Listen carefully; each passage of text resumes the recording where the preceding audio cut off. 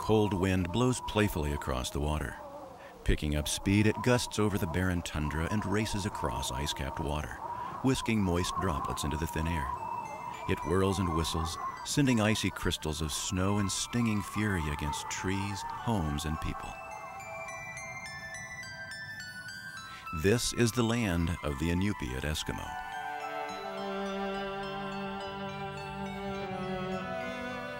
Into this Arctic vastness, a baby boy was born more than 150 years ago.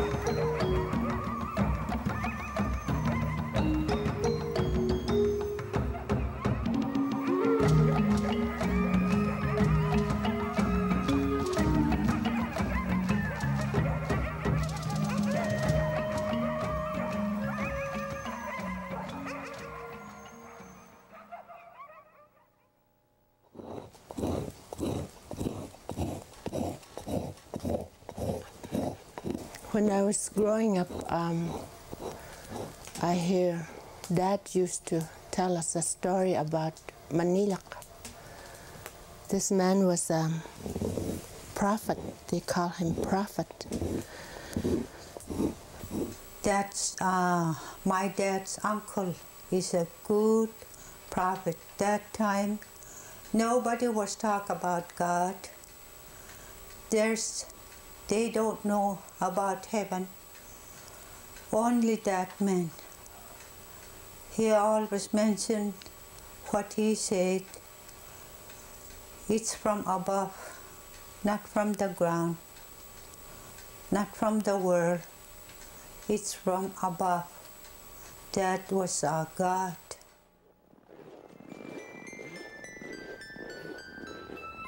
Nothing is known of his father. He was raised by his mother.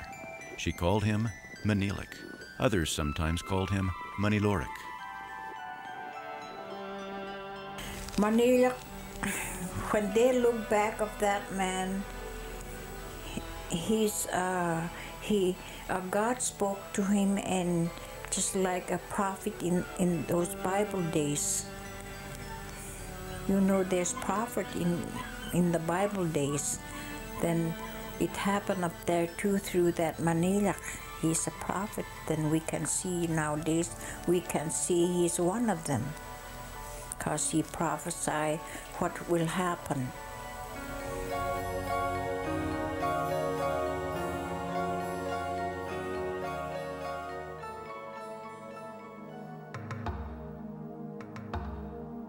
When Maniilaq was born, the natives of the northwest Arctic region of Alaska were ruled by the Inutkut, or shamans. In the mid 1800s, no missionaries had yet penetrated this hostile land. Yet Maniilaq was a worshiper of the Creator God, whom he called Grandfather.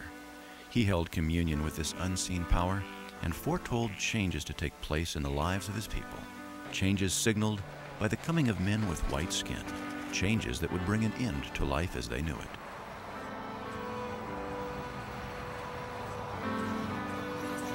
And my father, he always talking about this uh. He's a prophet.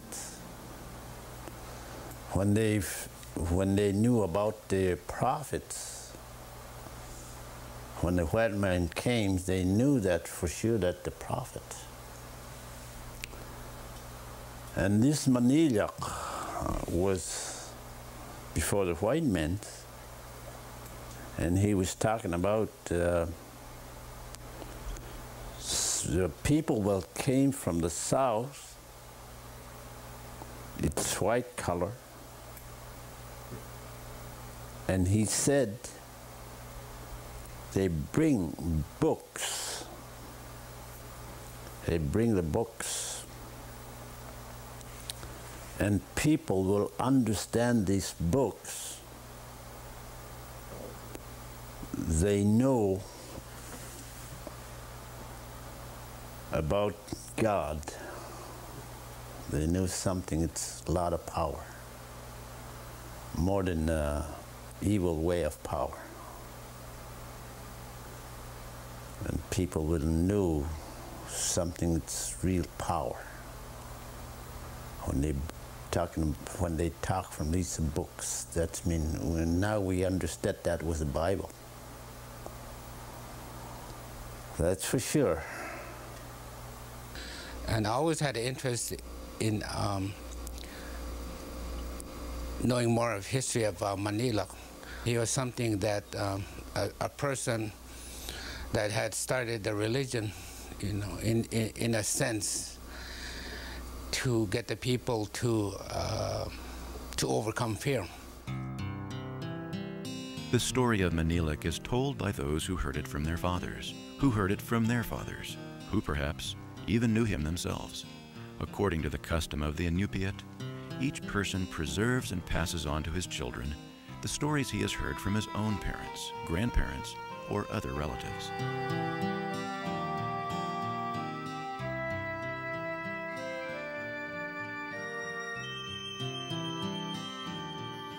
Maniilaq was born and lived along the Kobuk River.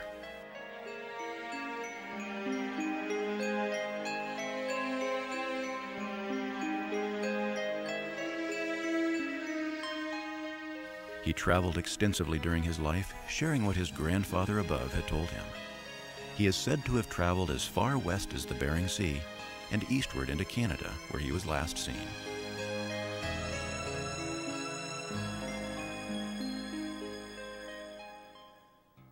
Maniilaq learned how to build the sod house for the winter, how to snare small animals for food, and how to ice fish. As he grew older, Maniilaq provided food for his mother and three sisters hunting and setting the snares by himself, armed with his trusty bow and arrows.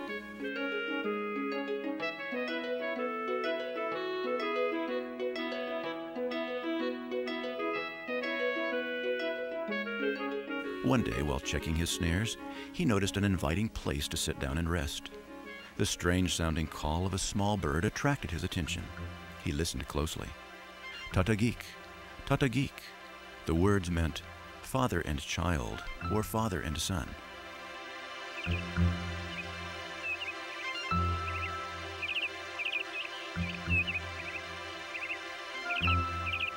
Maniilaq found himself often drawn to this spot where he would linger, surrounded by a feeling of unusual calm and peace, listening for the strange bird call, which expanded to say, Tatagik, Tatagik, Isrum Mexakti, Isrum Mexakti, or father and son, father and son, the source of intelligence, the source of thought. Darkness would send him hurrying home, where his mother, fearful lest something should happen to her only son, anxiously watched for him from the top of the bluff.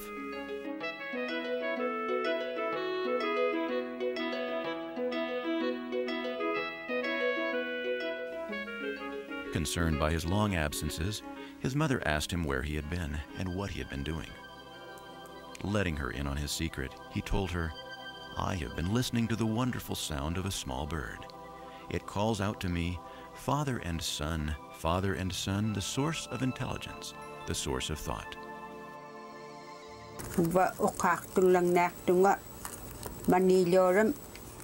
I am now going to tell the story of how Manilorak lived. When Manilorak was a boy, he often went out into the country, and soon he even hardly helped his mother with the chores. When he left in the morning, he stayed out all day, sitting on a tree stump all day. I don't know what time of the year it was, but he did this all winter. One day he told his mother,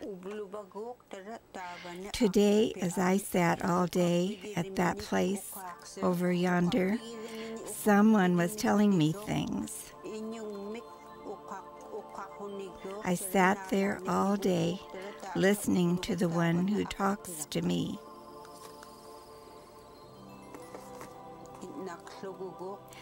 This is what he told his mother. He added, The one who talks to me is from above.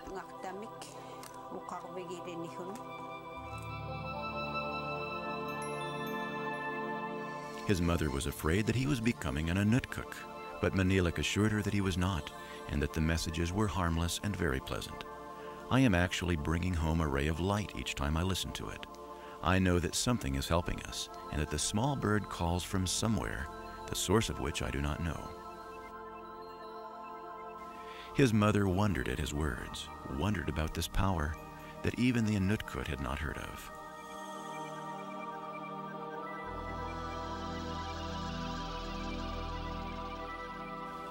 As he grew older, Maniilaq heard the source of intelligence speaking to his mind even when he was not at his resting place. He was guided in his choice of a wife, and as time passed, three children were born to them. Maniilaq took good care of his family. They accepted his special messages and lived a peaceful life.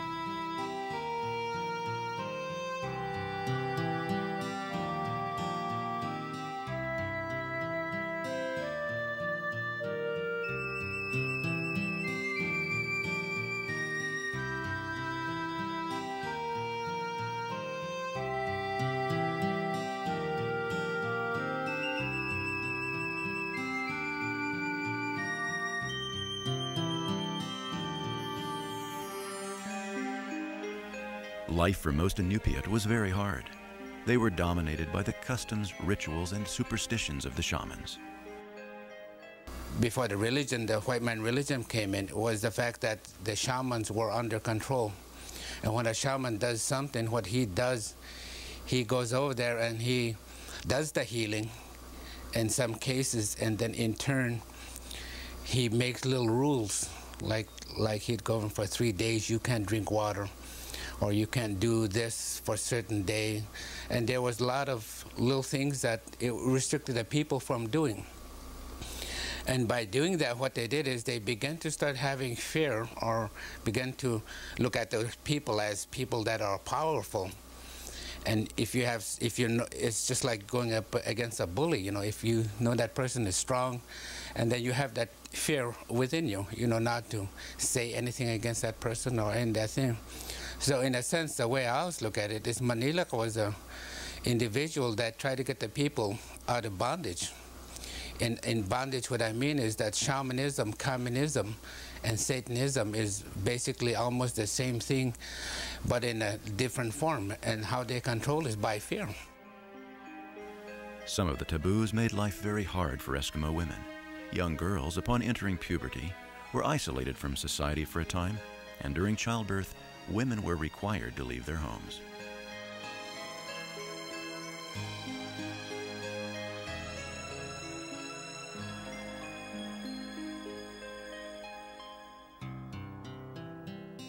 When it's close to deliver, he make a little hut back there behind the be, behind what, where they're living. I make a little hut in winter time they make a snow, a little hut just like this kind of.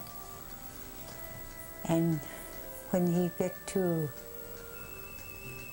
to get deliver the baby, and he went there and go in there with nobody. He deliver a baby right there behind the village back there someplace back there. That's the way they're living. And a girl, when he getting a little bit age, you know, they always keep him someplace back there too.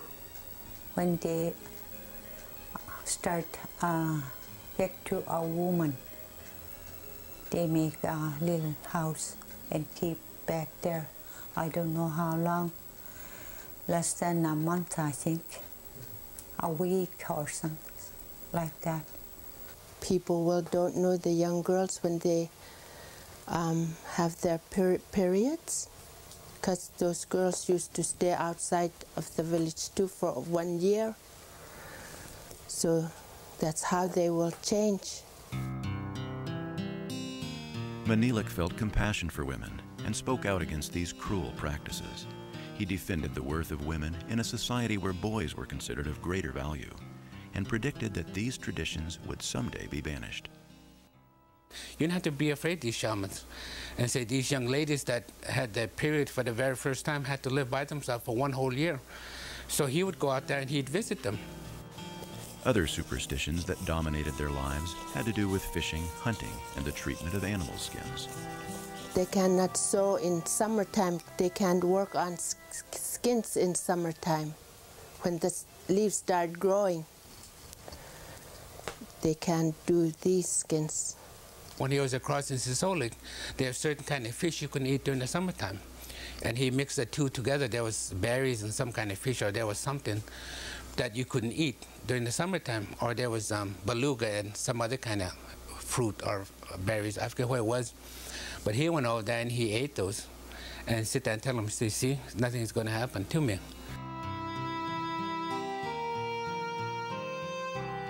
Maniilaq looked for opportunities to show that these customs had no power over him. As he fearlessly broke the taboos, the people began to see that his source of power was stronger than the power of the Inutkut. He explained that his power came from above, while the Inutkut received their power from the earth. There is nothing to fear. I have demonstrated the freedom that is to come. He assured the people that his source of intelligence was watching over them, keeping them safe from danger, and that it would do away with the suffering and fear caused by the earthly power.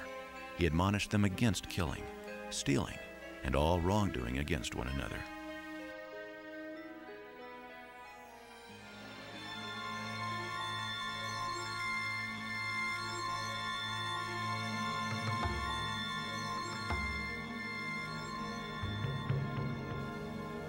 They were amazed that he did not fear the Inutkut or their power. They could not imagine that someday death from the taboos would cease and the Inutkut would no longer practice their trade. Fearful that Maniilaq was destroying their power over the people, the Inutkut determined to kill him. They were able to kill people through their helping spirits. In a trance, they would find the person and perform their magic over him. Many people died in their sleep or from diseases as a result. But the Inutkut had no power to destroy Maniilaq. He was protected by a bright glow, which some of them described as a thin beam of light coming down from the sky and encircling Maniilaq and his family. The people were surprised that Maniilaq and his family didn't notice their protection of light and seemed unconcerned and unafraid of the Inutkut's power.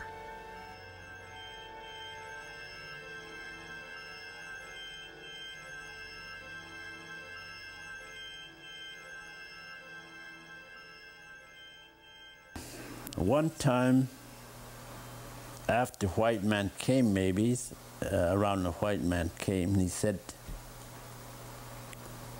they start. They knew about the alcoholic, you know the barrels, of alcoholic, and some people didn't. They knew drinking. And three witches, real power of a devil just come and just come and walk around so the people were scary and hardly to see these people. Of course, they're real, no use to laughing around with them down at Kotzebue. And Manila was right there. And he said, I'm going to wake these people. I'm going to say something to them. And he, they wait and wait, these three big men, the power. He come right to them.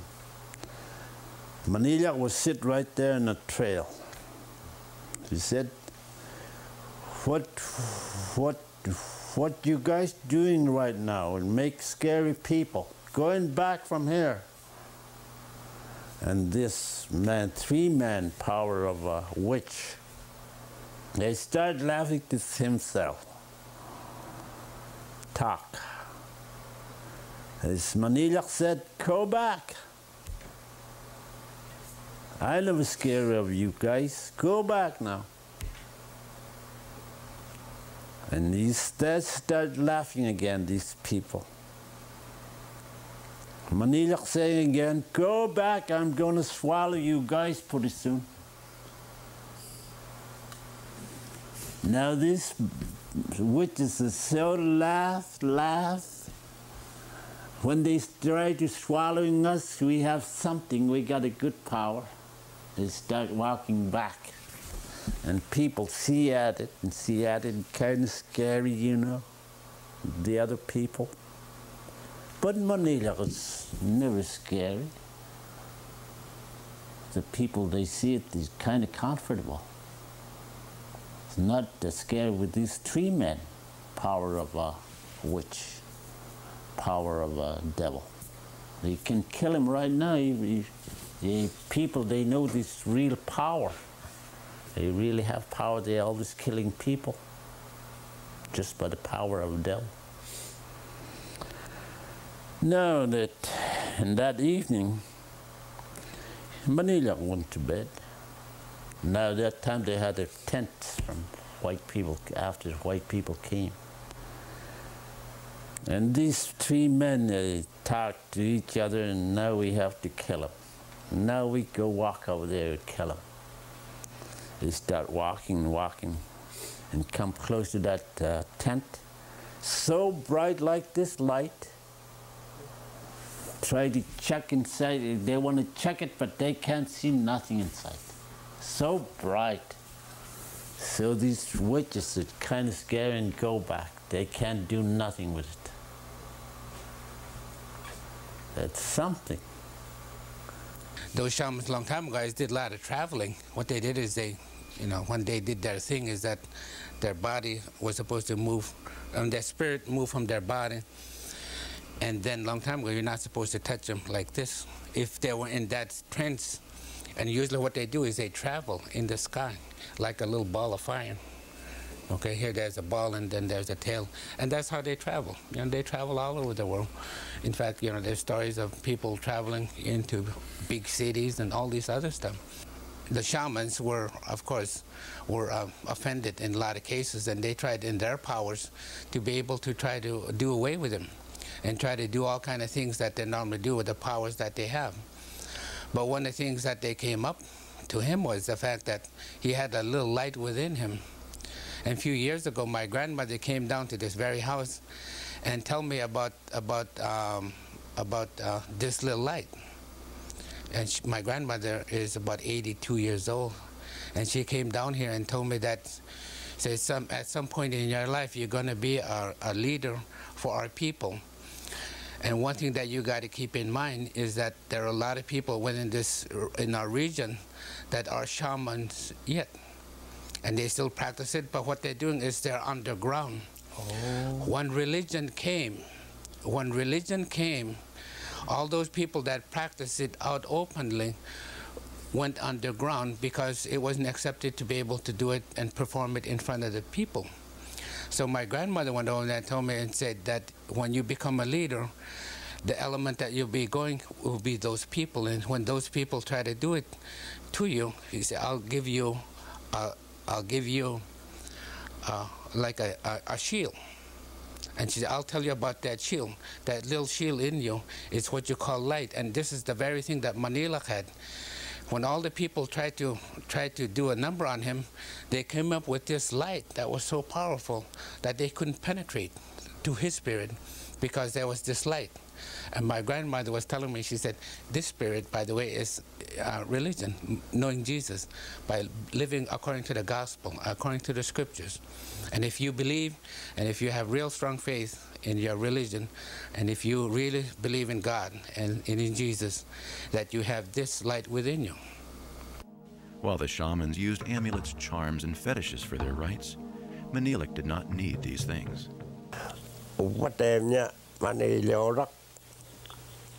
Mani Lorak was my father's uncle.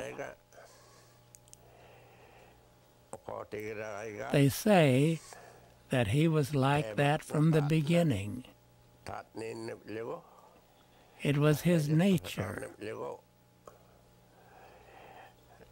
After he slept at night, in the morning he would say that the one who put words in his mind gave him something to say.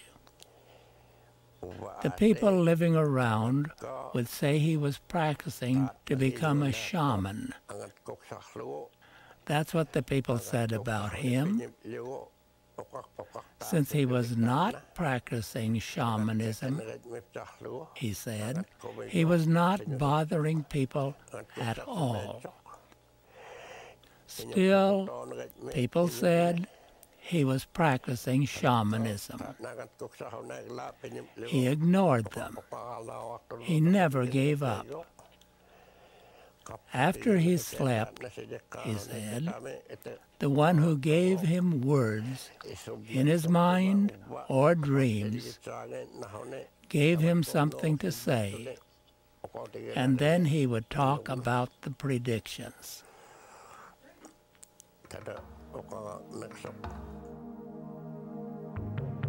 When he was ready to tell the people the words given to him by his grandfather in the sky, he beat a drum, sang a few songs, and spoke the words, Yai, Yai, which expressed praise and awe. He always began by telling them that life as they knew it would soon change. They would be freed from their fears and superstitions. Maniilaq's predictions aroused the people's curiosity. Some taunted and ridiculed him. Others listened skeptically. It said the devil power will be gone no more after change people will change to the other power that's something that's real power than the devil power I have to understand from this book that white people will will talk to the Eskimos so the Eskimos will change living But this man, Manila, told lots of people this wouldn't be happening anymore pretty soon. It's coming pretty soon. Things gonna be changed. People gonna do whatever they want to. No more krungoks. No more krungoks and uglingnucks. Uglingnucks means superstitions. Later on, our people living, they won't know anything about that kind. It will go on. They are always telling us, tell the people that time, that way.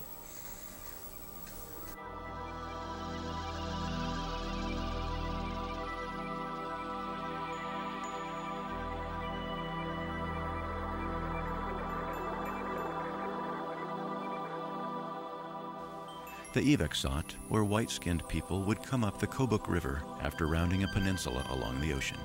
Although he said this many times, no one really believed him. He told them that the white-skinned travelers would come swiftly over the surface of the water in fire-powered kayaks. They also would travel swiftly through the air by firepower.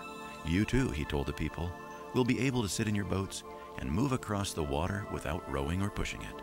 You too will sit in your boats and move across the sky.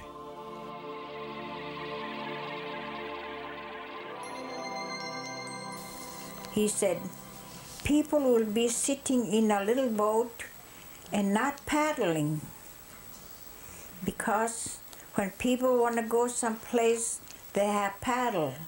Or when they have kayak, they paddle. On account of moving and going someplace, they paddle. So Maniak said there will be no paddling. People will get in a little boat and sit down and they will start moving real fast or real slow or real fast. Something will be controlling their boat. Some kind of little something that moving behind them will will control their boat. That means engine or even route. Then uh, after he said that, he said, this little boat will be traveling in the air pretty soon after that. And still, this something that runs will control this little boat and they will start to travel real quick to other villages. When they want to go, they will just fly. They will get in this boat and will start flying again. And so people were visiting real quick. That means the airplanes then. What he prophesied about the airplanes then.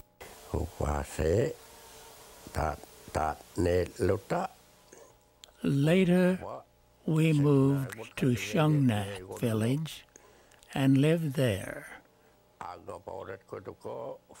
The Fergusons came and we had a sawmill at Kuchak. One day we heard a strange noise. We climbed up to the sawmill area where they were working. Whenever they sawed logs, we climbed up to watch because they were close to where we lived. My friends Tommy Kutachak Lee, Urgachok, and some others were there with me as we climbed up. We didn't climb far when the noise we heard was coming closer. Suddenly, we saw something in the sky. It was approaching fast. It had windows and a windshield. Two people were sitting in this vessel, one behind the other. People started running around in Shungnak. As the airplane circled around, there was much confusion. That was when we saw the first airplane. It was predicted that it would come in from the direction of Kobuk village, which is east. When it landed, the passenger was an Eskimo. They recognized him. He had lived in the upper Kobuk area before that. His name was Nuleyuk. He had moved away quite a while back. What Maniilaq went over there and and was trying to help our people. He went over there and he made all kind of predictions. And he went over and said, okay, these are the events that's going to happen. These are the things that we're going to do. So that way, when we encountered with these elements of, of the Western society coming in, we were so odd that we would, take, we would be taken advantage of. And in a sense, the stories that goes along with that, let me give me an example, a few of them. When the white man came with his plane, it didn't um, startle the uh, Eskimos upper Kobuk that were that lived and, and listened to Maniilaq when he was in when he was in upper uh, upper Shungnak, I mean upper Kobuk. But you went down further to where like Noorvik and different places that never, you know, really maybe take his story seriously or even listen to him. They thought that was the end of the world. And they panicked. Some were running around outside, you know, just like went outside and started praying. And in fact, the story goes to where one man, went, you know, fell on his back trying to watch this plane, you know, every second of the wind fell right on his back because, um, you know, it, people lost their minds. And I think if we went over there, and, and, and I personally went over there, when I studied Maniilaq, you know, I, I, sit there and I think in, in contrast in terms of what he was trying to tell us and what we went through, and then it can even still apply in this day and age because, you know, we're always, you know, just like we're, we're going to be living in the last days, and there's obviously there's going to be antichrist to where if we're not in tune with our religion, and we don't have the power and source that we're, we're aware of, is that we don't know what kind of source that's going to be around. And if the, any kind of event, a disaster, any, any of these type of things, I think that can be our sources and that can be our strength in terms of the things that were expected, that were told to us by Maniilaq.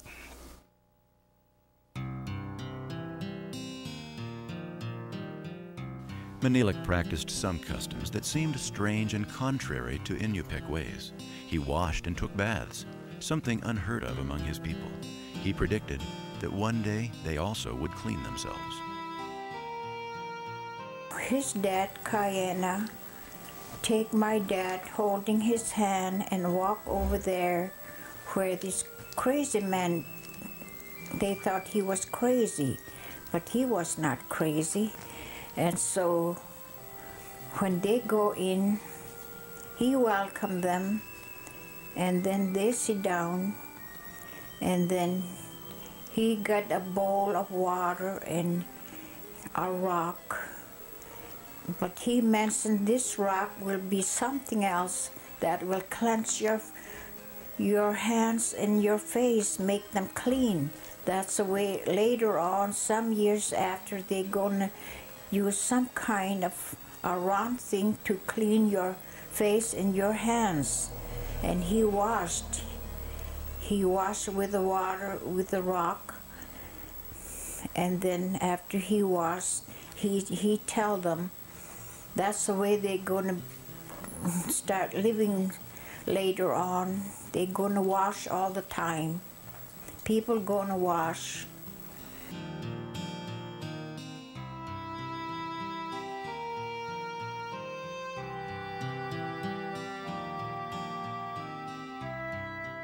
It was Maniilaq's custom, wherever he made a camp or home, to set up a tall pole. Although his people had no calendar and didn't divide the days into weeks, Maniilaq taught that the day on which he attached an animal skin flag to the pole was a day to rest and to worship. This happened every seventh day. On that day, he did no work, but spent the day talking of his predictions. Some people accused him of being lazy, but he replied that he was living by the commandments of his grandfather.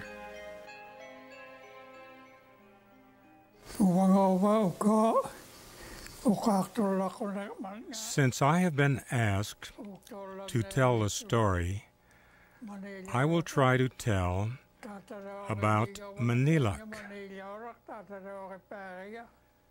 Maniilaq is my real grandpa. I am from the upper Kobuk area, from Kala, which is where Maniilaq is from.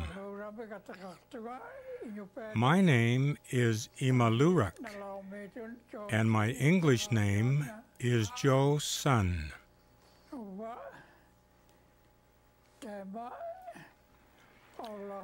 I will begin by saying that Maniilaq said many things. Many elders knew him years ago, but now they have since died. Maniilaq lived, did his chores, and rested every seven days. He said, I honor this day. And he raised a pole, attached a small flag at the tip of the pole, and rested. The person who told me this was Kumuk, brother of the Booths, across from Kotzebue at Sisualik. Maniilaq raised his pole. Kumuk followed some older boys and peeked into Maniilaq's tent. They saw him lying and resting. He did not do anything on that seventh day. So when Kumuk said that Maniilaq was resting on the seventh day, that is what Maniilaq did.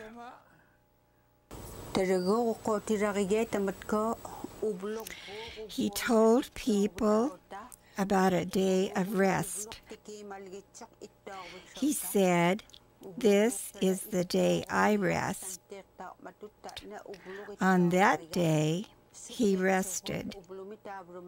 He did not do any chores. It was like a Sunday. He stayed put on this certain day. He mentioned there'll be a seventh day resting. One, two, three, four, five, six, sevens. He put his fingers out like this and it makes seven.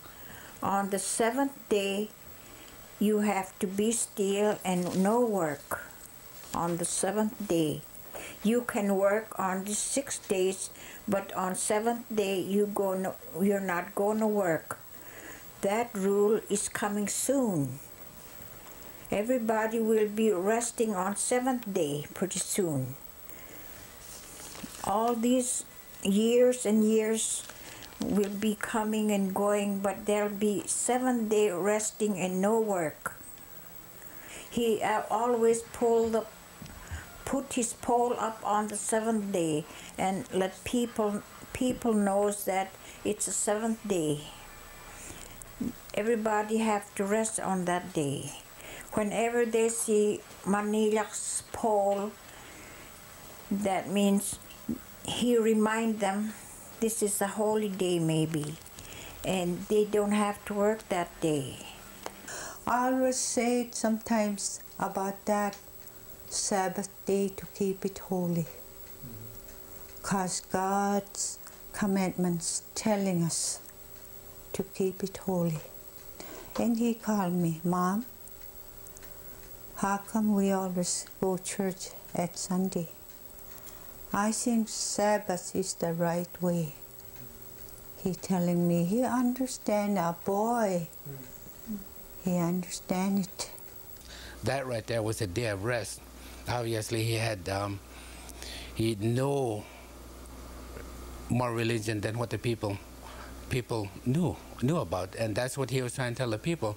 That's the reason I uh, when I you know, studied this right here was that, that he was an individual from our own people trying to tell our own people that, you know, that religion was important in their lives. And if we have that, that would help us to be stronger people. Now, once we, now, when, when he was gone, then we had the um, Western religion when it came, when it came in, then we did had the religion in the native sense, in the uh, native sense, because we were close to nature. But one of the things that we don't have was that we didn't have the story of Jesus. See, that's the part that we didn't have, and that we began to start understanding. Yeah, there was a God, there was a power, there was a source, and here was a Son that had been sacrificed to us and given to us for for for, for redeeming the people. You know, and so here, see, here it was that. So when the missionary and the religion came in, you know, those people were very, very religious people. They were strong. And any, I'll say, any church that came up during that time, I don't care what kind of church it was, could have been the predominant church. And the church that came up here to our region during that time was the Quakers, or what you call the Friends church. And but those people, you know, grab onto it, and they were absorbing every story, everything, and they lived according to according to how the church set, a, set that thing up.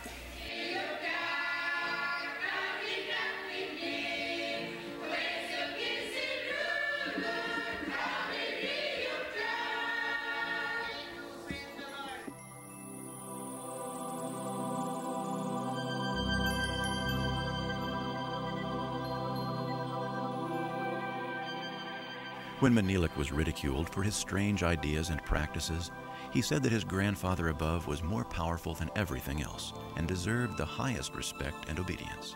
He said, Unless I am directed by the one above, who is dressed in white and whose aides are also dressed in white, I do not speak. Although the grandfather above did not demonstrate his greatness now, he explained, the time would come when his glorious power would be seen.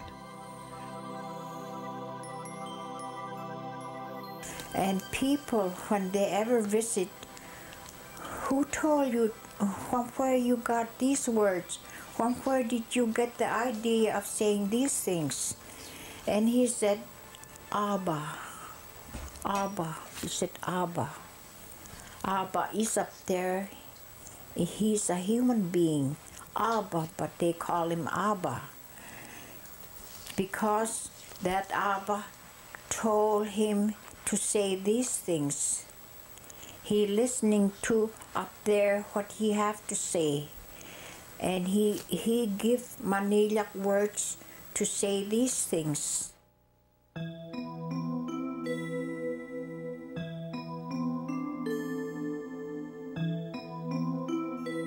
Most of Maniilaq's predictions have now come to pass. The lives of his people have been changed by the knowledge of the Father above. The power of the Inutkut has been broken. The bondage of superstition, fear, and cruelty is gone. The coming of white skinned people, fire powered kayaks in the water and in the sky, fire inside to warm the houses, thin birch bark upon which to write, the ability to talk and hear over long distances, light coming in the form of the Bible, have all happened as Maniilaq predicted.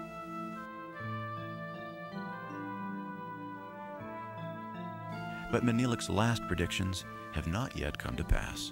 Those who have known his story look for the fulfillment of these things in the future.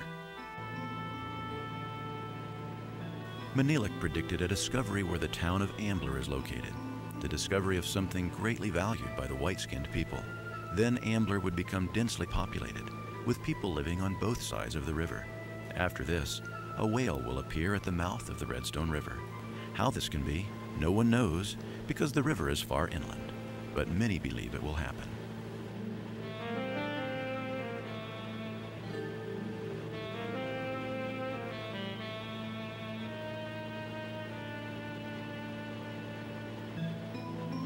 We hear about Ambler gonna be a, a big, big city sometimes later on.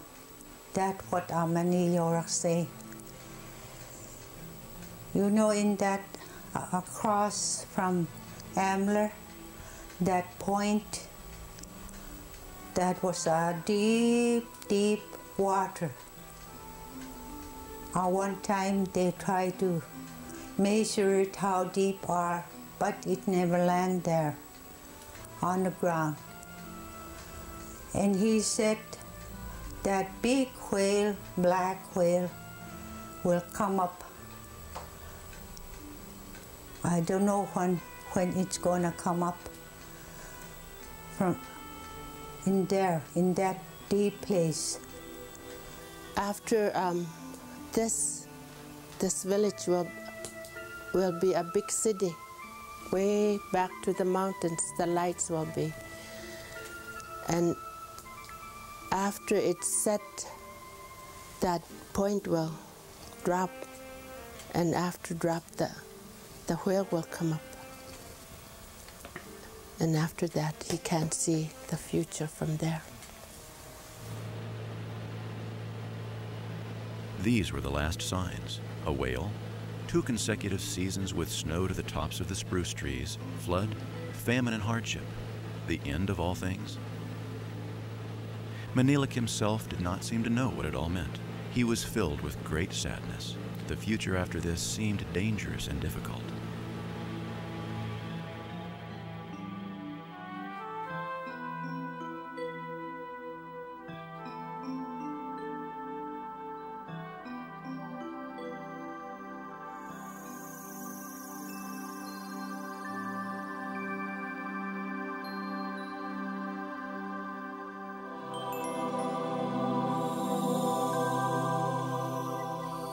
Many believe that when he spoke of the Eviksat, he predicted the coming of the white man from the east. But even before Maniilaq's time, the word alluded to a future event when white beings would come from the direction of daylight and the dead would be raised to life. It was to be a great day, and the people comforted one another, saying it would be the time when they would all see one another again. Maniilaq told about a time when the bodies of people would be changed, and old and young alike would be youthful again. In Point Hope, they spoke of the Yuvaksat, a land of all good people that would come down rotating as it arrived, but never touching the ground.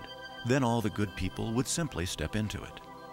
This land was abundant in plants and flowers, a beautiful and joyful place, the land of the good people. Maniilaq saw a place glowing with such radiance that it was too bright for the naked eye. He tried to recognize the city, but it was beyond his comprehension. A song he composed called it a place which has beautiful weather or sky. He said he pointed his finger at my dad and he said, This little boy, I mean, this little boy will be real old, maybe, maybe after he die, people will change. In a wink or twinkle of an eye, people will become young. Old people, gray haired, will be young again. Young people and old people will be the same. Everybody will be young, become young again.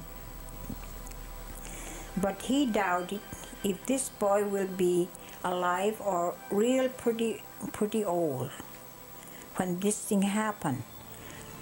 then this part of his story is related to the Bible that if Jesus come in a wink of an eye, twinkle of an eye, when Jesus come, that's how fast he gonna come. Once he was telling me about Maniilaq, what he vision. He see a vision up in the air, not in the land, but in the air. He see a vision, and he try to get close, but he can't see it. Too bright for his eyes too bright to go into there. A city. That was a big city. Bright. And he can even see it. So he tried many ways to get closer. Maybe he must be around it or something like that, but he can get close to that, what he see it. Finally, he left that city alone because he can't see it good. His eyes is not good to go in. So he leave that alone and and I don't know what, what he do after that. He was telling about it so many times. What he said, I don't understand what it means when I was thinking about it, that must be a New Jerusalem. That uh, city, what he see it, he was thinking so much and he want to understand what it means. But he start make a song with it. They used to make a song that time in Eskimo. Just only few words from that song. I only learned it. My dad was singing, that was a long Eskimo song. I never tried to learn it because I didn't know I gonna reach this one right there. And he sing a song he see it that he call it nunachluk. Nunachluk. So mitam na siyav yav robak it me pa and he and he make a song just just that piece you know I learned it. It was a long one all right but I never tried to learn it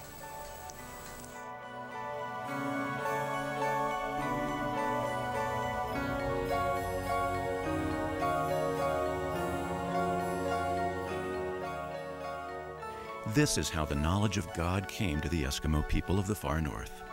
Not willing that any should perish, God broke the bondage of darkness and shined the light of heaven upon them. Has this source of intelligence spoken to you? Have you heard his voice? He has a revelation for you, a message that will deliver you from bondage, a message that invites you to that beautiful land, the land of the good people. And I saw a new heaven and a new earth for the first heaven and the first earth were passed away. And I, John, saw the holy city, the new Jerusalem, coming down from God out of heaven. And the Spirit and the bride say, Come. And let him that heareth say, Come. And let him that is athirst come. And whosoever will, let him take the water of life freely.